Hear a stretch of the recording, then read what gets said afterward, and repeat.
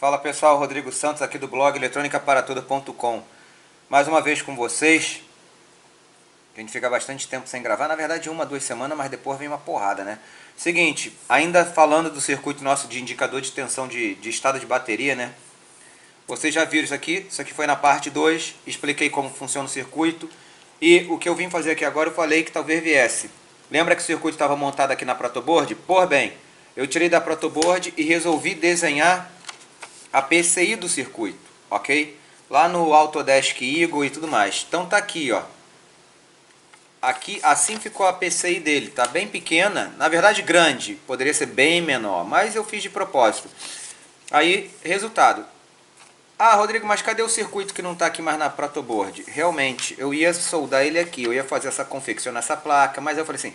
Ah, vou precisar do percloreto de ferro, que eu tô sem. Aí fui me dar conta isso tarde demais. De qualquer forma, o layout está desenhado, desenhei isso aqui no Eagle. Então o que eu fui e fiz? Peguei uma placa chinesa, ok? Aquelas perfuradas, padrão.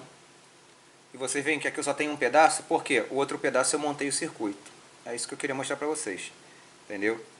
Ela era assim, essa placa, ó. Então ficou bem pequeno. Isso aqui tem... Quanto? 4,5, 5 centímetros aqui por 3, 5 por 3, bem pequeno, poderia ser menor ainda, mas então aqui está o testador de bateria montado na placa padrão, tá? Isso aqui eu colei o fio de propósito para ele não quebrar. E temos aqui os bornes. E o que, que isso aqui faz? Vocês já sabem. Indica o estado da bateria. Se tiver uma bateria de 12 volts para baixo, o LED vermelho fica aceso direto, o verde não acende. Agora, começou a subir de 12 volts, o verde começa a acender também. Tá? Então, é, vamos testar agora aqui em primeira mão, que eu não testei ainda não, acabei de confeccionar essa plaquinha aqui, né, para vocês verem, era maior. Pude até quebrar porque ficou bem pequeno.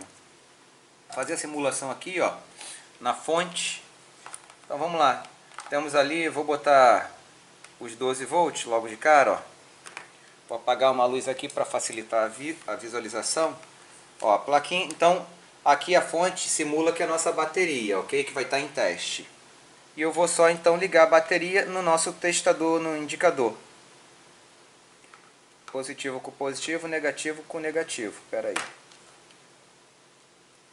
Vejam. Parece que é só o vermelho, mas não é não, tá? Dá aquele zoom lá, diretora. Tá verde também, é porque na câmera fica difícil de ver tá? Ó, tá vendo, pessoal? Tá o verde também. Mas só que pode ficar melhor. Ah, mas Rodrigo, ó, e se baixar a tensão da bateria para 11 volts? Veja a placa. Olha lá, o verde já se foi, ó. Sobrou uma miserinha aqui, tá só o vermelho. Ah, e se baixar mais de 11? Olha lá, ó. Olha lá. Baixou tudo, só tá o vermelho aceso, ó. E olha quantos volts a gente tem na bateria lá, ó. Na simulação, 6 volts. Agora eu vou aumentando, ó. Fica reparando. Já foi, 12 volts, ó. Agora, olha aí, ó. Com 13 volts. Tá aí. Entendeu? Pessoal, então indica, tá funcionando o circuito funcional, eu queria mostrar para vocês isso, tá? Que ele funciona também aqui. E aí a gente pegando isso aqui e passando para testar com a bateria, aguenta só. Olha só, para testar com a bateria mesmo, vamos ver. Essa bateria está marcando quanto? Eu vou medir a tensão dela tá, aqui no multímetro para vocês verem quanto ela está marcando. Para a gente ter certeza que ela está razoável, está ruim, está boa. Então vamos lá, primeiro essa aqui. Qual a tensão que ela está marcando? Ó. Tá lá, 13 volts. E a segunda aqui, ó. Tá lá, 12.9. Para quem acompanha o vídeo, elas estão mantendo a carga, a tensão que tinha antes. Vamos então medir aqui para ver se o nosso indicador de estado ele mostra o LED verde também. Tá aí, ó. Tá aí, ó. Veja até o reflexo ali na minha mão. Tá o verde também. Entendeu? Os dois LEDs. Tá aqui. Ou seja, a bateria está boa, está carregada. Realmente está, a gente viu no multímetro antes. Vamos ver essa segunda aqui, ó. Também. Tá aí, pessoal. Então, ó. Tá funcional. Circuito funcional. tudo dentro dos conformes, ficou bem pequenininho. Agora eu vou dar uma adaptada, vou só botar ele aqui dentro dessa caixinha para ficar mais transportável, sem correr risco de quebrar. E é isso, nosso circuito, indicador tá, de estado de bateria, funcionando com sucesso, ok?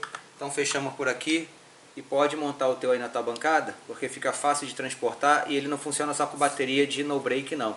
Funciona com bateria de moto, bateria, qualquer bateria 12 volts, ok? Não importa a corrente dela não.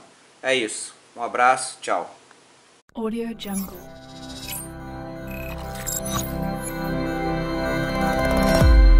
Audio Jungle.